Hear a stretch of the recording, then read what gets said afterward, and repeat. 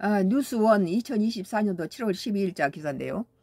아, 바이든 사태론 배우는 오바마, 바이든 캠프스 의혹 확산이라는 기사입니다.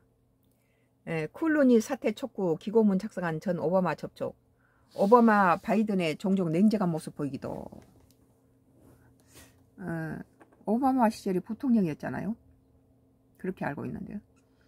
조 바이든 미국 대통령의 선거 어, 캠프 내부에서 버락 오바마 전 대통령이 후보 사퇴론의 배후라는 의혹이 제기됐다.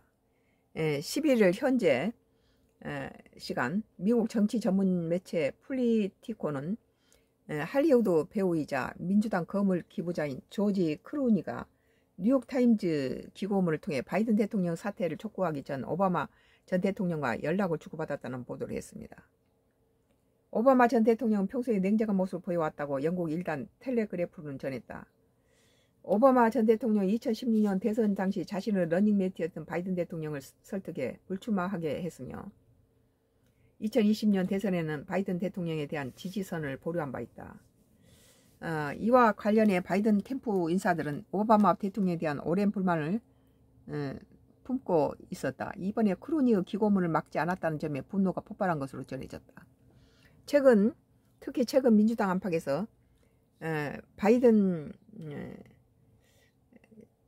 그 대통령의 사퇴를 주장하는 사람 중에 오바마 전 대통령의 측근이 많은 점도 의혹에 불을 지피고 있다고 텔레그래프는 전했다. 음, 오바마 전 대통령 고문으로 일하던 토미 베르트는 베트로는 바이든 대통령이 최근 공개석상에 보여준 모습이 나쁘고 때로는 보기 힘, 매우 힘들었다고 꼬집었다. 음, 오바마 전 대통령의 측근인 데이비드 엑셀로드 역시 바이든 대통령 향해 어떤 결정을 하는 것이 옳은지 고려해야 한다고 직격탄을 날리기도 했다. 오바마 전 대통령이 이러한 의혹에 별다른 입장을 내지 않았지만 오바마 행정부 당시 백악관에 일했던 브렛 브루엔 전 미국 외교관은 오바마가 바이든을 밀어내려는 거대한 음모가 있다는 생각은 터무니없다라며 이를 일축했다. 그 터무니없다는 생각에 동감이에요. 왜냐하면은 오바마뿐만 아니라 전 미국이 거의 7, 80%가 다 오바마 지지자들이 다 등을 돌렸는데 무슨 오바마한테다 이런 식으로 어, 그 저기 모함을 하는 거 맞지 않다고 봐요. 아, 나의 정치 코멘트로는 현재 미 대선의 바이든 퇴임 압력이 높아지는 가운데 차기 대, 바이든 대타로 나온 인물 중에 미셸 오바마가 50% 당선이 유력해서 가장 당선율이 높, 높은 인물로 선정됐어요 지금. 바이든은 어, 후보 사퇴를 거부하고 바이든 선거대책 본부인 카멜라 해리스 부통령이 트럼프와 1% 정도 격차를 보이는데 이들은 카멜라 해리스를 부통령을 바이든 대신 후보로 지지하고 있습니다. 그러니까 50% 당선이 유력한 미셀 오바마보다는 어, 바이든의 러닝메이트였던 어, 부통령으로 있던 카멜라 해리슨을 민다는 거죠. 근데 그 당선 확률은 트럼프하고 1%밖에 차이가 없어. 플러스 마이너스 뭐 1% 정도밖에.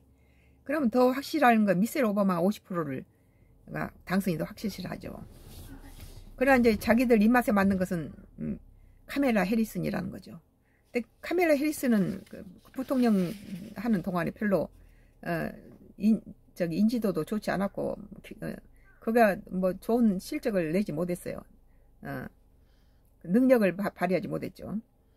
에, 예, 그래서 지금 이들은 카멜라 해리스 부통령을 어, 바이든이 만약에 물러설 경우 해리스를 다, 어, 대통령 감으로 이제 좀 지지하고 있는데 오바마 입장에서는 미셸 오바마가 대통령으로 나온다면 바래, 바램이 있을 수도 있죠.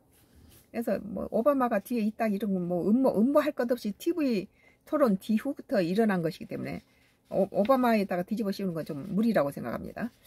오늘 뉴스원 2024년도 7월 12일자 기사 바이든 사태론 배우는 오바마 바이든의 캠프의 의혹 확산이라는 기사에 대해서 나의 정치 코멘트를 했습니다.